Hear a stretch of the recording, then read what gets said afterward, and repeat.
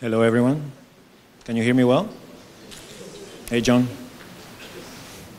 Well, um, I'm here to talk about UX strategy, and um, it's a really interesting topic for me because I started quite a long time ago, and I went through different companies around the world, and I just want to share a little bit of the insights I got during all this time. So, um, this is me. You can, you can verify that it's me. Uh, since I was a kid, I always wanted to grow a beard, so I'm, I'm living the dream right now. Um, I, I come from Buenos Aires and I live in a couple of different places and now here in uh, Singapore. I'm really happy to be here today. During my career, uh, I went through a different, you know, uh, spectrum of roles uh, from graphic designer to interface engineering. I'm still trying to figure out that, what that means. Um, so if you guys want to reach out to me, uh, I'm on Twitter. Um, there's a link in Twitter to more ways of getting in touch. So if you guys want to share some thoughts about this presentation or whatever you guys want to share, uh, I'm open to have a conversation. So please go ahead. For today, um, so I want to tell you guys where's, where everything started for me. Um, I want to talk about a little bit the cost of not having a UX strategy in your company. Um, I want to talk a little bit about value. What's, what's, uh, what's UX or design brings as valuable to, different, uh, to companies in different stages. Um, I have some tips on how you guys can start defining your own strategy. And then I want to bring an example of what a user-driven corporation means and uh, what they're doing right now. I think it's really inspiring. And then if we have time, I have more stuff to share. So our main focus for today is basically UX and uh, strategy related to user experience. So what's the first thing comes to your mind when you think about UX, right? That's the first question I asked myself when I started thinking about this presentation. And if you go to Wikipedia, um, user experience refers to a person, emotions, and attitude about using a particular product system or service, right? When I think about UX, the first thing that comes to my mind are these two nice fellows right here. So uh, I, I, guess most of you are familiar with them. They're huge guys, uh, Don Norman and Jakob Nielsen. They started their own consultancy uh, Nielsen Norman Group in 98, and since then are being like the leading voice on a lot of things related to user experience and how we build products. And if you go to their webpage, you're going to find slightly different definition, right? They, they, they, say that user experience encompasses all aspects of end user interaction with the company, its services, and its products. So it's a bit wider that shows product and service. Uh, this is Don and Jakob. Uh, It's a killer name for an indie rock band, if you ask me. Pretty cool. Um, so, but this is a really old topic, right? It didn't start in 98 with these two fellows. It goes way, way back. And for me, started with uh, understanding usability or, or getting, in getting involved in usability as a discipline. Uh, I started designing interfaces a long time, and when I first heard about usability, I was just, I, I, I didn't understand really well what, what it was about, so I, I, I tried to really dive, uh, to take a really deep dive on it. And I learned a lot of things that I was doing wrong, right? And I learned tools and different aspects of my, uh, my own discipline, basically. Um, and, and it helps me improving my game a lot in how to approach products and how to make them better.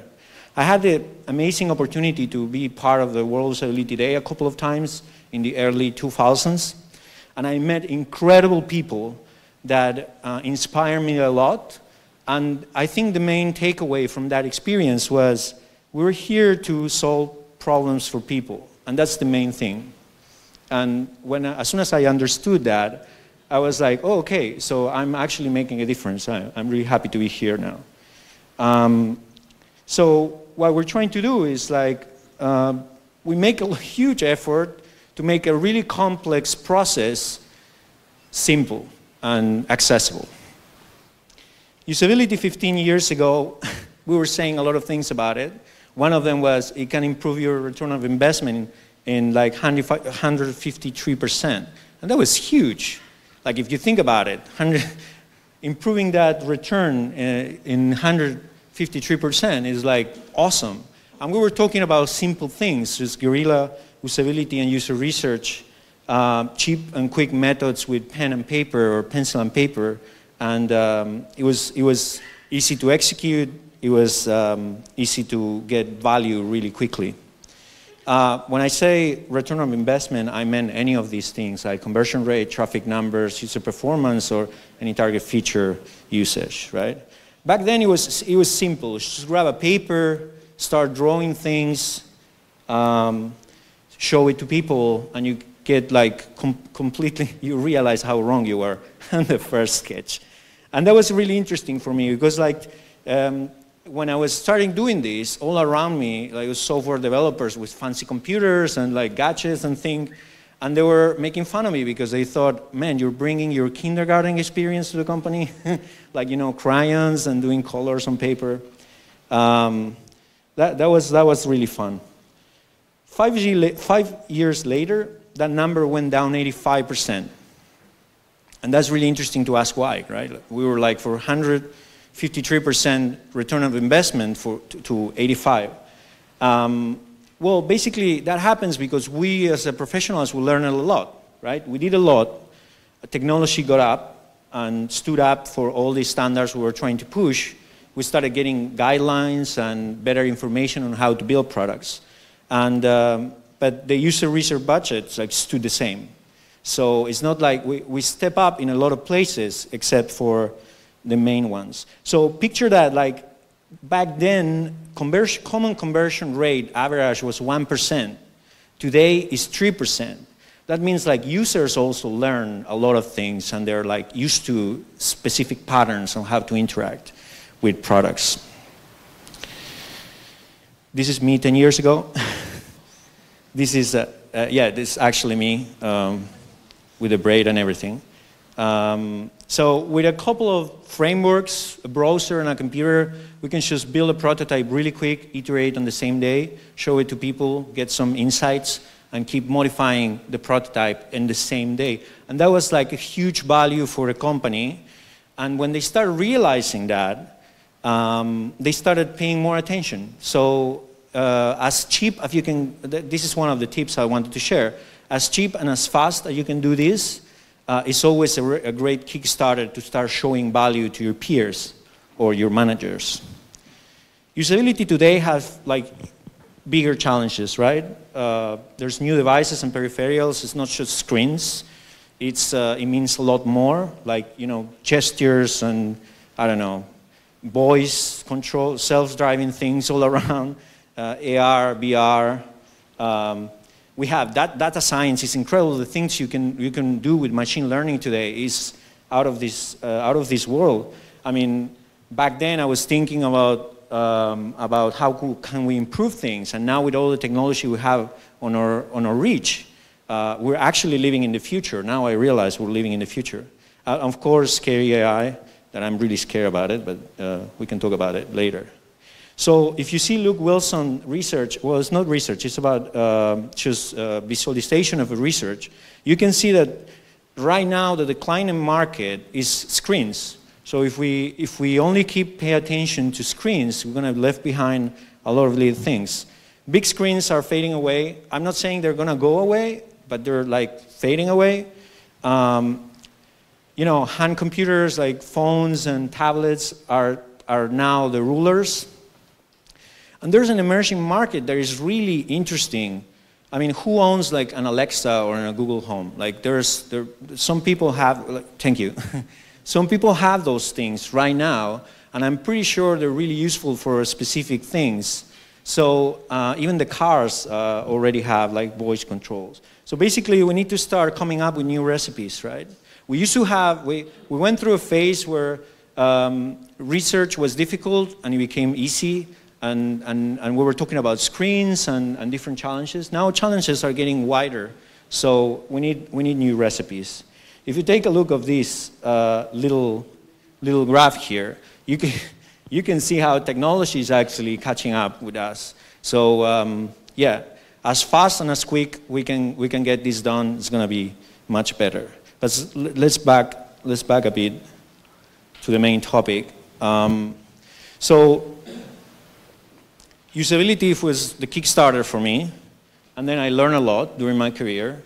And uh, I went through different companies, and I started realizing that apart from the fact that there's different maturity levels on design and UX in different places, there's two uh, things that I'm worried about. There's a like immediate cost of not having a good strategy, and there's an imminent cost of not having it, right? So for me, this is my subjective view on it. Um, the immediate cost brings like there's no clear objectives, right? There must be like probably uh, they want to make money. That's clear. we all want to make money, but uh, there's no direction. So usually teams are running in circles, trying to go fast, but they're going nowhere. There's a lot of copy and paste, like following the competitions or looking at these uh, main brands, uh, how they do things. And basically, we're just copying the same problems they have without realizing. People become task oriented. So we lose the value of collaboration between teams. And what happens usually is like, I got something to do, I just do it, and then just pass it on. And um, contrary to have a collaboration with other teams, we can add value to the small task and they start adding up and this completely different. Um, being task-oriented create ga gaps in between the areas, right? It's, uh, it's really bad for the company. There's bad communication. Nobody takes ownership of, of what they're doing. There's absolutely no room for innovation. And that's something that worries me in this particular time, right? We're talking about an, an incredible you know, emerging market of new gadgets and, and, and possibilities, and we're not take, taking care of it. And then the assumption-based design, uh, that is a shock we have in the office when, you know, a director of a manager comes with a requirement and, and they actually don't, don't know about it, but they're pushing it really hard because they believe that their assumptions are going to be a success with no validation whatsoever. Um, and then the imminent cost is you're going to end up with a low quality product or you're going to have like low quality service and that this is really bad for conversion, right? You're going to have bad sales, there's going to be no growth. Um, the low return rates are really, really bad for any kind of company. Um, there's going to be a constant rework. I'm okay with reworking as long as we know where we're going, right? And this is a huge, huge expense if you don't know where you're going and you need to rework every day because somebody don't like it or the manager doesn't feel like, uh, like it's good enough.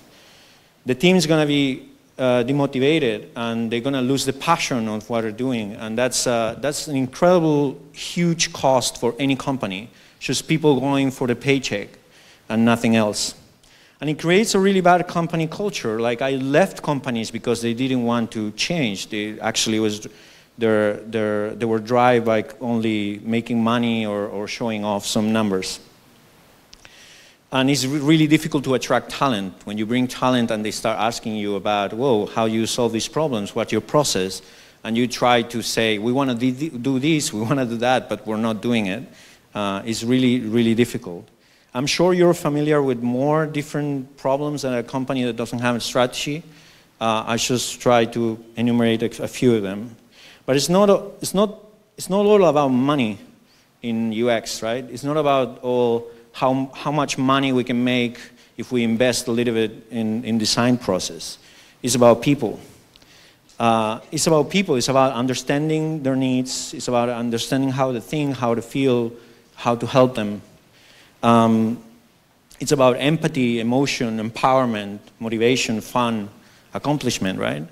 When you have, when you have a good process in your company and you spend like a lot of effort with your team trying to solve a problem and then you validate that solution and then you, you, you get a successful uh, feature out there and people start using it and you see their reactions, that's really, really, uh, it's a great motivation for you and for your, for your teams. Um, so who, Have you ever heard something like this? I mean, it happened to me like a, a long, uh, a long time, too many times, and recently as well.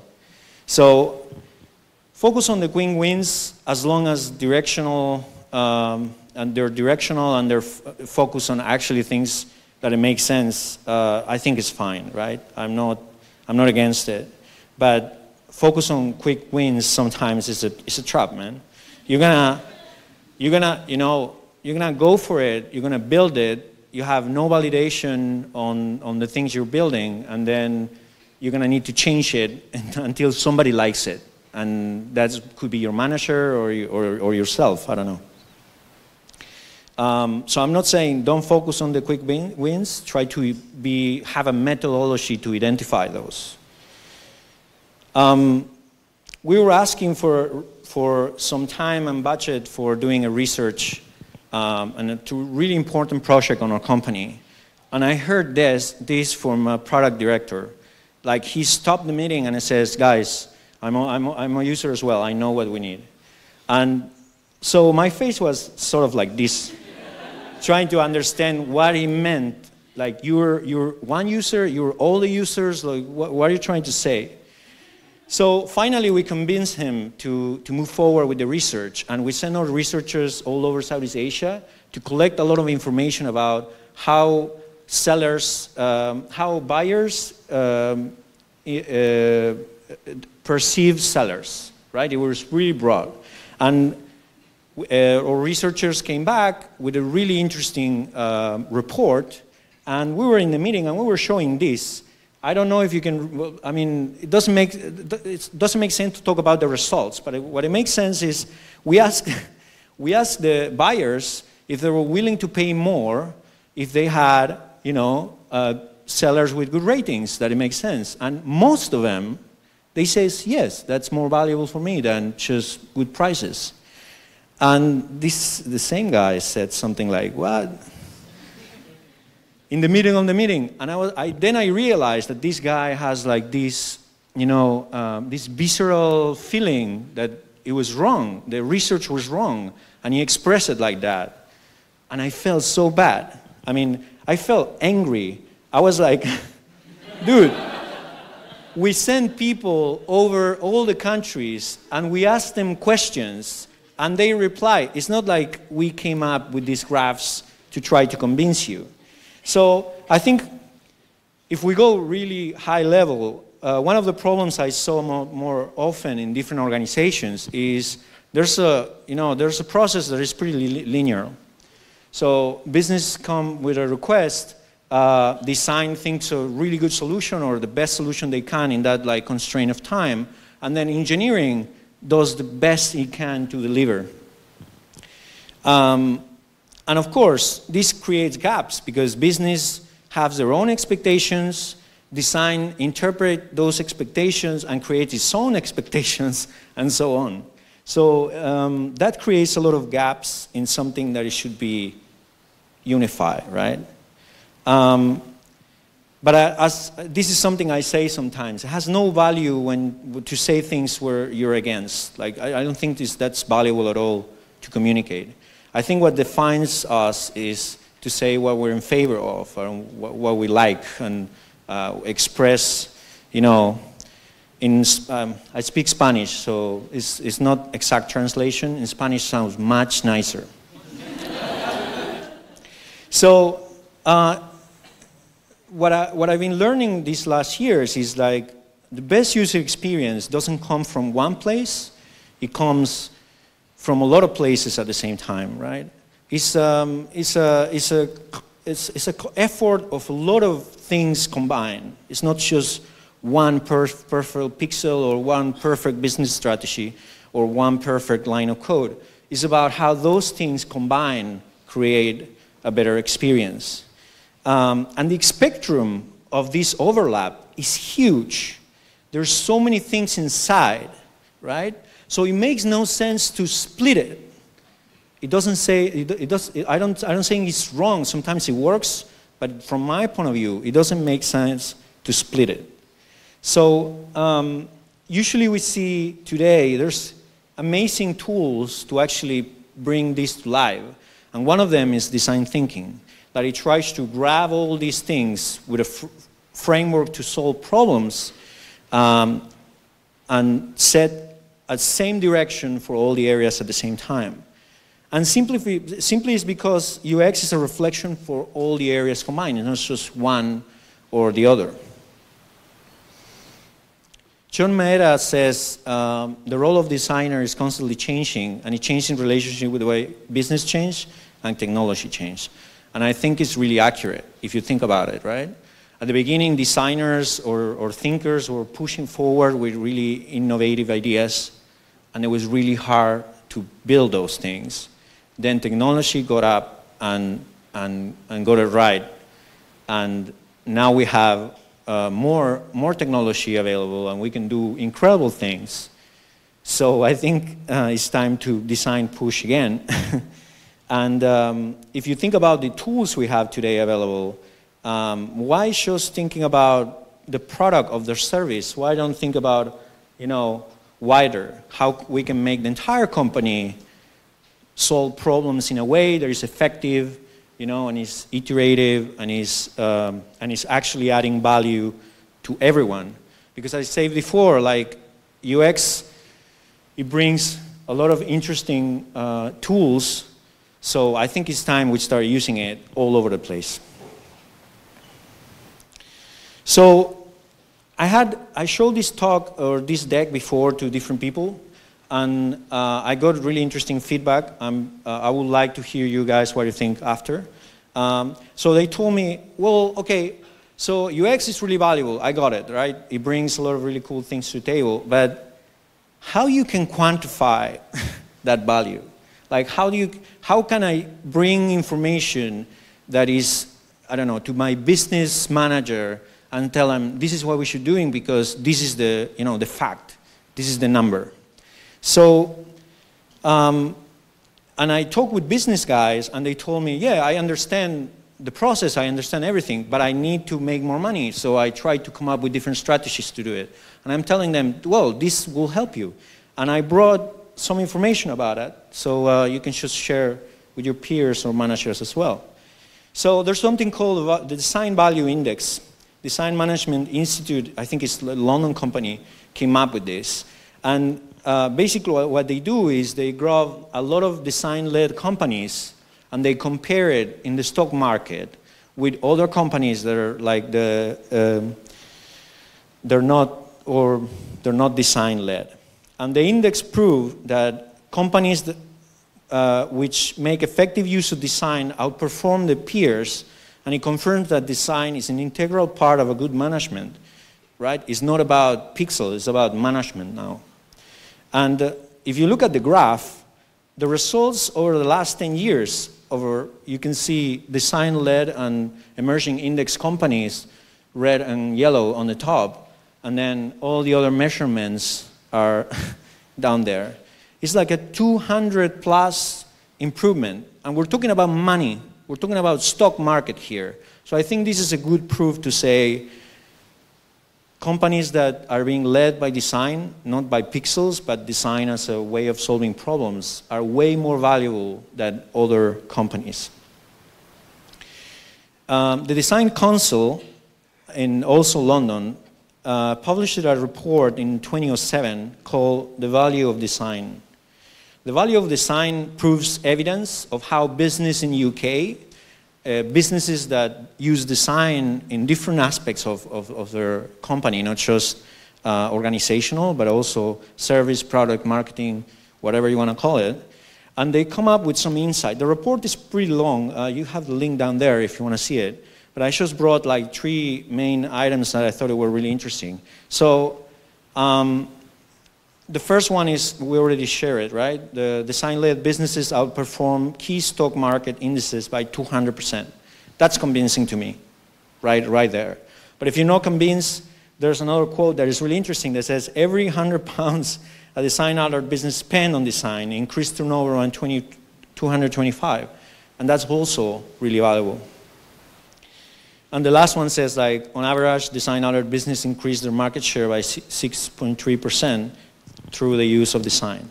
So Um, you, can, you can read the entire, the, the report is pretty interesting, but it's pretty old. So if we, two, 207, right?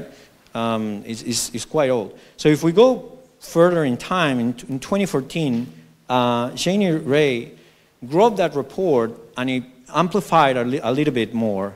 Uh, and you find out that that's true, like implementing design in your company is really valuable and it makes you earn more money. But he also found that uh, it helps you also reducing costs, right? And in, in case of Procter & Gamble, it reduced costs by 1 billion a year.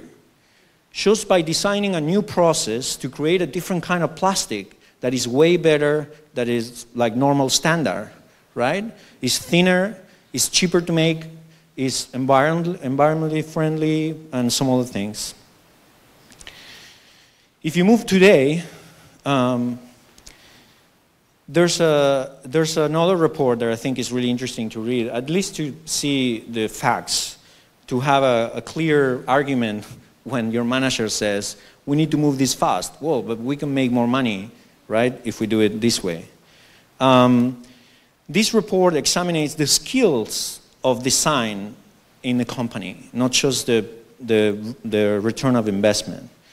And basically, design skill, one of the findings is design skills are connected to innovation. Like, that's straightforward. If you want to be an innovative company, you need to bring these elements to, to your company. Well, and then there's like um, 10 pounds per hour more product, productive than UK company, average in, in any other company. And the design skills are worth 209 billions only in the UK and their value is keep growing faster than a faster rate than the wider UK economy. And that freaks me out a little bit. Like, whoa, means like design skill now should be a must, right? We all need to start training on those. Um, and I have much more. So um, more examples, but I think it's going to be boring if we talk about numbers all the time. So I'm going to mention some things and then we'll move on, right? So um, there's also really interesting uh, findings on, on, you know, startups that we all know, like how Sendes increases the usage of the search function four times and article views in eight times. Um, that's a pretty interesting success as well. Um, Uber roll out to 80 different cities and keep on innovating. That's a really interesting example to look around. If you Google these examples, you're going to see the reports, you're going to see the numbers. Um, Airbnb, when it started, they were making 200 uh, euros a week. And they went into, they, they tried to understand what was the problem, why we're not growing. And they realized the quality of the pictures was really bad. so what they did, they had no money, right? They flew to New York to the people who was publishing their apartments. They rented a camera, a high definition camera, and they took pictures of the apartments that were published back then and they're increasing uh, the revenue in 400, 400 euros. So they went to 200 euros in one week to 400 euros a different week. And then they keep doing the same process of understanding what are the problems, why people is not renting. And now they're like freaking huge. They're all over the world. They're making a lot of money.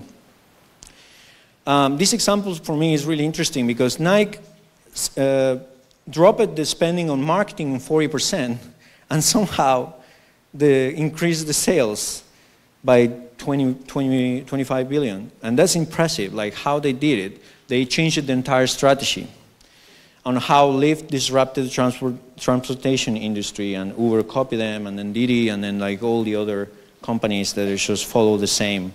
Um, so to recap this section just quickly, uh, we're basically here to solve problems, right? That's, that's, that's what it is. And great UX comes from a collaborative effort, not just us pushing pixels or writing code or making business strategy better. Design lead companies create more value. That's proven. You can see the reports. And good design also can help you to reduce the cost of your company. That's also really positive. And a strong strategy keeps the team engaged and motivated. So what I see that a good strategy of UX comes live in a company brings a lot of value as well, but inwards, right? Not just about product and numbers and sales. Um, apart from all these, these things, having a clear and, and uh, unified vision helps uh, the team to you know, follow the same route and fight the same battles and be more cohesive. Um, the interdisciplinary col collaboration is really interesting if you ever experience it. Like when you have a point of view and then um, somebody from business or from, um, from tech or from marketing chips in into your idea and it becomes bigger and better and the, the, um, and wider, right? You start seeing your, the problem from different, different perspective. Uh, UX is objective, it's data driven, right? You do the research, you do your validation, you look at the numbers, you look at people using the product. So it's objective, and there's no room to discussion when you have a good research or, or research well done. And it brings innovation all around. You're always thinking outside the box because you know your constraints, you know uh, your users, you know your context, you know everything. And it creates new business opportunities. It allows new crazy ideas, try new things, and suddenly you realize there's this, an opportunity to create a new unit business in your company. So aim higher, man. don't, uh, don't, don't, be, don't be just a, a, pixel pusher, right? So I thought bringing this Escher quote that I think is really interesting. Um, you need to attempt the absorb in order, absorb in order to achieve the impossible. And I think it's, uh, it's really interesting coming from him that he was a great artist and he always trying these new geometrical and crazy um, perspectives. So some tips about um, what happens when you start your own strategy, right? I think every company is different. Uh, they have different goals. Um, they have different ways of doing things. They have different cultures. So um, I think the main thing here is to just take small steps, right? If you want to change everything at the same time, it might be risky because getting everyone on board is really difficult. So first of all, you need to understand what's the current step, like where you are, where you want to be. And when you know where you want to be, you just document the vision. Like you just create a document, you write it down, right? Um, what are you aiming for? So everyone can just like relate to it and access to that information. Um, just create a roadmap, you know, where you are, where you want to be, create all the steps in between and try to achieve, you know, uh, small things. If you set achievable goals, it's going to be easier to execute, it's going to be way easier to communicate, is going to be easier to achieve. And every time you achieve one, you're going to feel awesome, right? Um, define the key metrics. Get all the data you can, right? Try to set up your teams to actually look at that information. If it's like a tracking, tracking system or it's a research, whatever. And know your constraint and get your proper tools. I think, um, I don't remember who said that, but I think it's really accurate designers thrive in, cons in constraints. So that's also a really good tip. If you wanna, if you wanna be um, accurate with your design and you wanna create amazing things, you need to set up your constraints, your time constraints, you know, your um, technical constraints, etc. Uh, if you if you propose yourself to make a design in one day and then test it, uh, probably is more valuable than if you spend a week just looking at the details. and try to get everyone on board, like your peers, your superiors, your managers, you know, your reports. Tell them what you want to do, tell them what you want to accomplish, tell them how you want to do it, what are the steps, and try to get feedback on the process constantly. Review and iterate constantly, because it's not, it's not just about the product, it's about how you reach to build the product as well. And take it slow. I mean, um, yeah, baby steps. So I thought about bringing an example of uh, how this is happening in a big corporation because it's inspiring, at least for me. Um, and every time I, I think about user-driving corporations, there's like two big names that come to my mind, right? The first one, uh, not, the, not the best one, but the, the first one that comes to my mind is Google. And I think they did a great job after the 2000, they, they come up with this integrated kind of look and feel and experience for all the products. And that was really challenging. And right now, they're like leading as well on how we should do things, and I think it's really cool. Um, the other one that it comes to my mind is Apple, of course. Apple has uh, design at its core.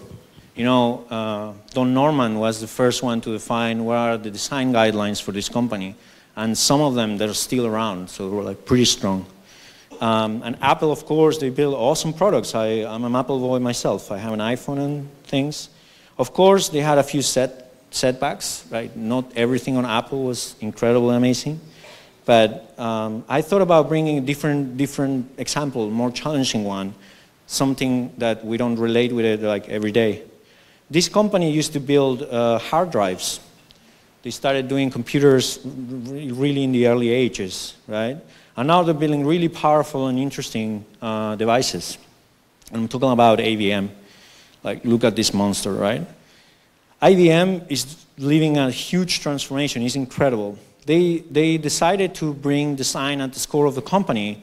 And in order to do that, they, they, they aimed to hire a thousand designers and train the entire workforce, like everyone, in how design think uh, works from executives to interns. And that's really powerful. And they call them design thinkers. And I think it's really interesting to make this distinction. They're not designers, they're not engineers, they're design thinkers. So new way of, uh, not new, but a different way of thinking. And the transformation goes like, it's impressive. They have like people in 175 places. They're over 300,000. Um, and they're basically expanding the role of design through design thinking framework. They have their own version of it. And um, they, they say that will enable the company to humanize solutions for real world problems. And I, they use the word humanize that I think is really powerful. It like engloves all the things that we live in, right? I think they're doing a great job. I actually love them. I, I had the chance to see some of the presentations around and they're really inspiring because they, they were like a data commercial driving company a few years ago and now they're doing all this huge transformation. Uh, and they're doing something interesting inside a company that I thought uh, it, it worth sharing. That is they, they're changing the ratio uh, the designer developer ratio. And they're changing it and it's, it's, a, it's a huge trend right now. For the, the, the impact they're having is pretty interesting because in 2012, there was one designer every, every 72 colors. And that's like a lot of colors for one designer. Today, they have one designer every eight colors, and they have one mobile designer every three colors. And that rate is like huge if you think about it. Like the, the transformation they're going through is impressive. Uh, and this happened in the last decade. Like they started this process quite a long time ago, and they're still going on. And they're not the only ones. They're not the only ones. There are uh, a lot of companies going to the same trend. They realize that design thinking framework is a powerful, powerful tool. And in order to, you know, bring this new way of thinking inside a big company, they're doing all these things to change it. And designer-developer ratio was a huge problem back then in 10 years ago. I mean, I was one designer with 50 other de developers, and it happens to me in a lot of companies. And it was really hard to comply with so, so much demand. Um, but if, if you're clear on your direction and you do take the baby steps, there's a lot of people who's going to start seeing the value right away and it will help you out. So that's pretty awesome. Uh, IBM, they're, they're also working on their own framework that is based on design thinking.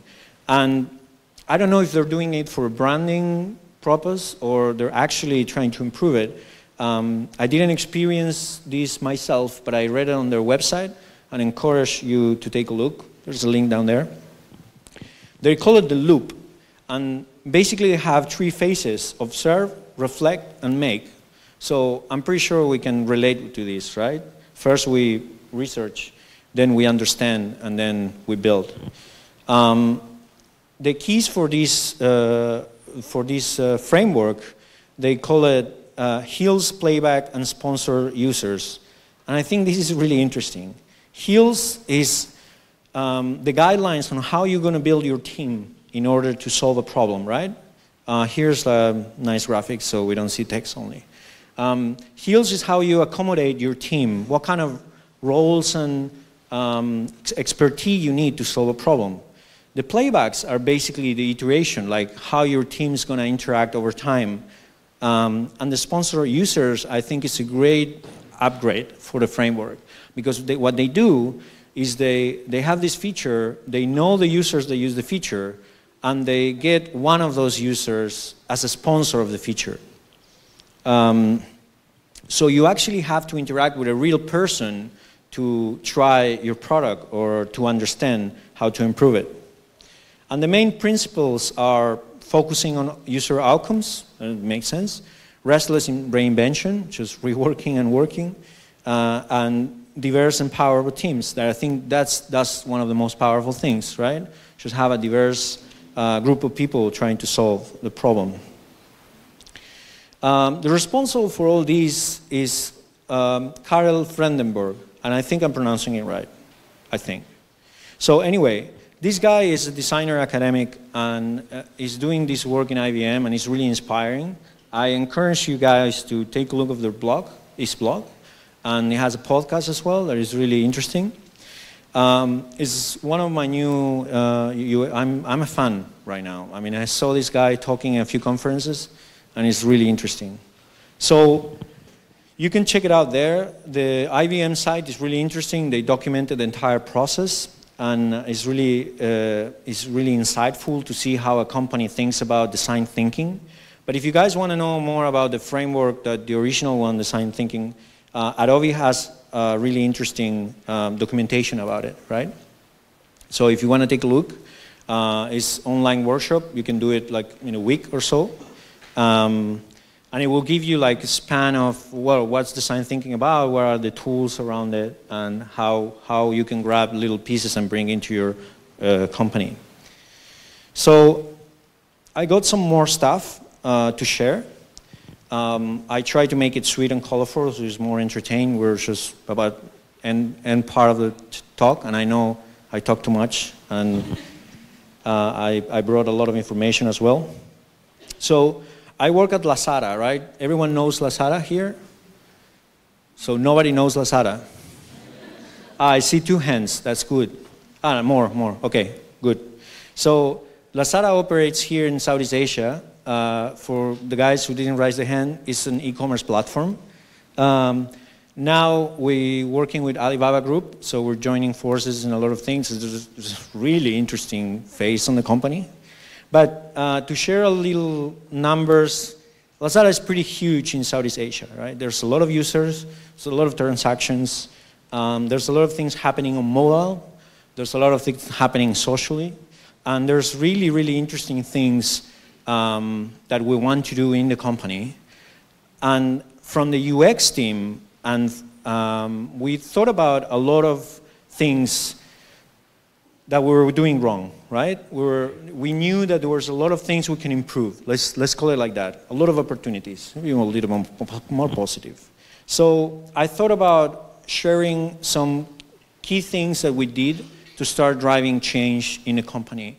And believe me, guys, it's really difficult. It's not like we implemented this and we're good. Like it's an ongoing, ongoing um, effort. But the first thing we did with the, with the team was, okay, how we want to solve problems. Where, where we want to be when this is awesome, right? When the process is done and we're working as, as we want. So we went on and we defined, we defined a process. The team did a great job doing this. And we documented. We documented all the phases to uh, what we think we should be doing to understand and build the product, right? Um, we document in, uh, from the intent, current state, future state, design, and the test phase. We define in the objectives, some considerations, the actions, collaborators, and the expected outcome from each stage. And this is really important because it's a reference material. Every time you're doing something, you can go back to it and say, ah, okay, I can just do all these things now. I can just push the team to do more research or do this and that. Apart from defining the, the process, we run um, a couple of workshops. We thought, okay, we're going to bring the product development team together and we're going to run a creative workshop using this framework so we can raise a little bit more awareness of how we can use these tools to solve problems. And that was, uh, went really, really well. Um, this happened, I think, online. Uh, started in Vietnam, right, John? Vietnam, and it was on, an online workshop also together with the Bangkok office. Uh, and, and the results were awesome. Then, then all the product people was talking about the same things. Then we also uh, got into the projects. When we raised a little bit the awareness level, we got into the projects and we say, hey guys, you're trying to solve this problem? Okay, we have this thing we can do. Uh, and it's, uh, it's really interesting. Let, let, us try, just sitting, uh, get together in a room for a while, run these tools, and you'll see what happens. And that was incredible. We got a list of new opportunities that we can execute right now, and some others that we cannot because we don't have the, the platform for doing it. But the reaction of, of the company was intense. We also run some exploration uh, workshops, basically to understand from the business unit that I want to try to push new uh, businesses in the platform, okay, how we can approach, how can approach these opportunities.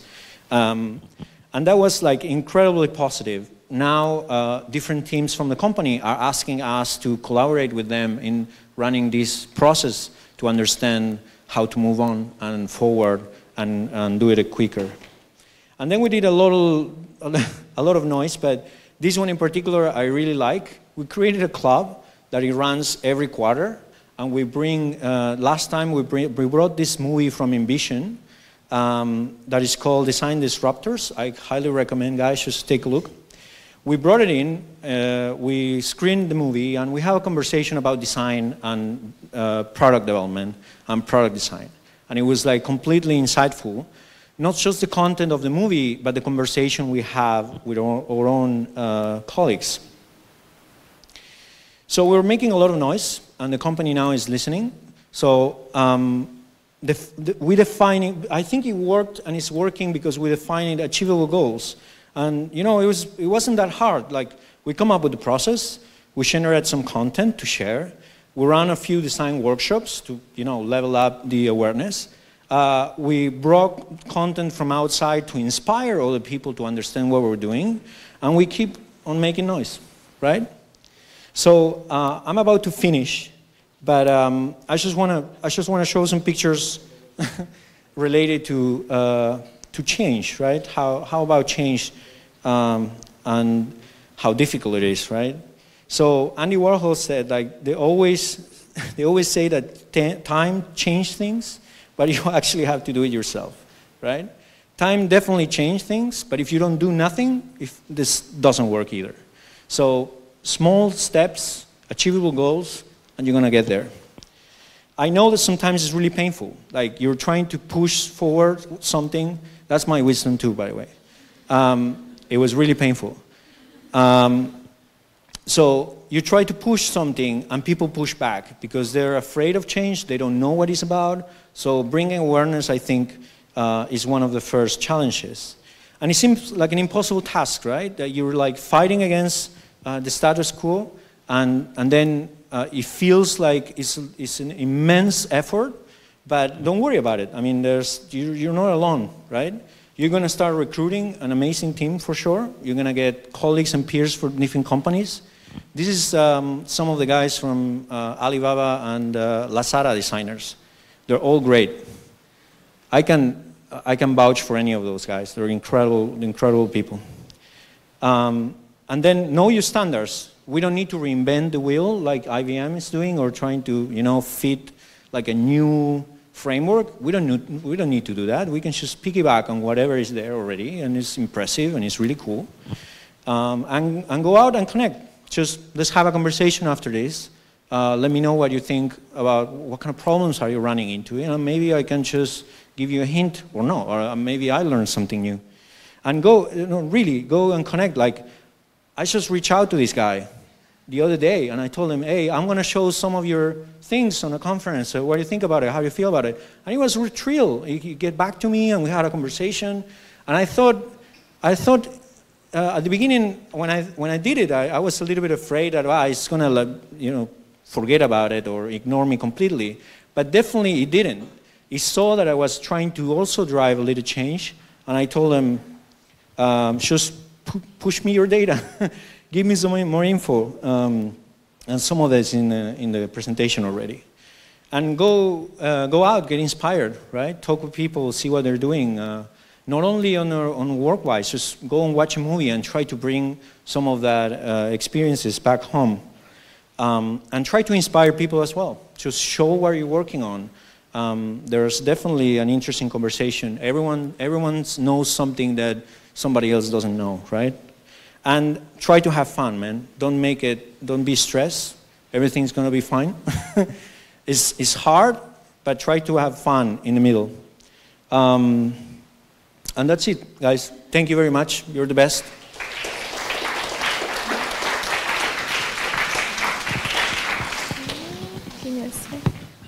Thank you so much, Nathan. Uh, so we have one. Uh, we have one question. We only have time for one question um, because we're a bit strapped for time, and we had a very, very great sharing from Nathan. So is is there anyone that wants to ask a question, perhaps?